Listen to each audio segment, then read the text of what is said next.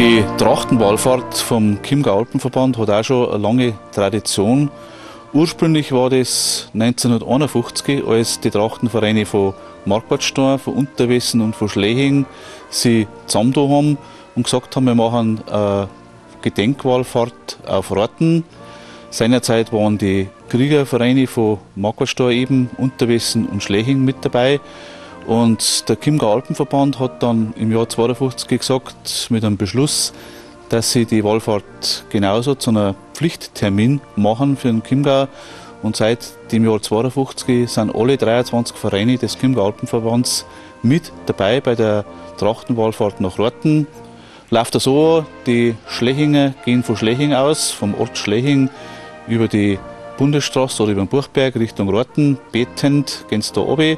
Und die anderen 22 Vereine treffen sie in Unterwessen, gehen von Unterwessen Richtung Rotten über die Ocherbrücken auf Rotten, wo dann die gemeinsame Gedenkmesse bei der Kirche zu den sieben Linden in Rotten ist. Danach ist ein Kriegergedenken. Und wie es zu einer Wallfahrt dazugehört, nach der Kirche wird eingekehrt beim Wirt und beim Feichtenbauern.